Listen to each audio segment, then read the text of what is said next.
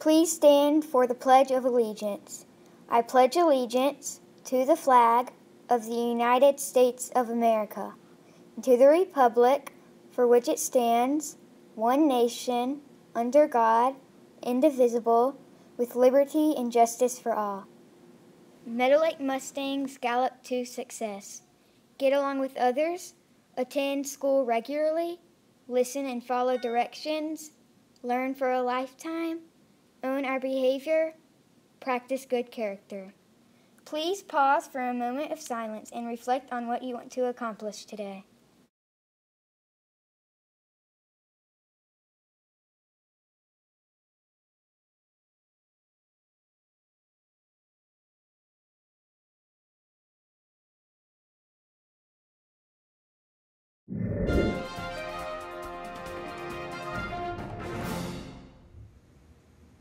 Good morning, Meadow Lake Mustangs. Today is Thursday, January 25th, 2018.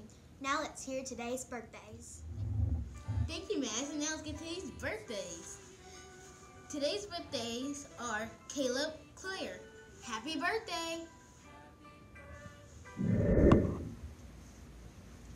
How do you stop a bull from charging? I don't know. You take away its credit card. Today's lunch is lasagna.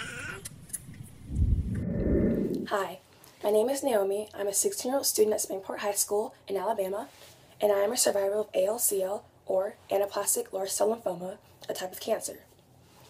When I was 12 years old, in the summer going into my seventh grade year, I began to feel sick, and we weren't really sure what was wrong. I was told that it could have just been a bad flu and that I would get over it soon, but I didn't. So I ended up being taken to the Children's Hospital in Alabama, where I was diagnosed with stage 3 anaplastic large cell lymphoma. I had to begin my treatment immediately, and I did not react very well to it the first time, but as time went on, I did get better.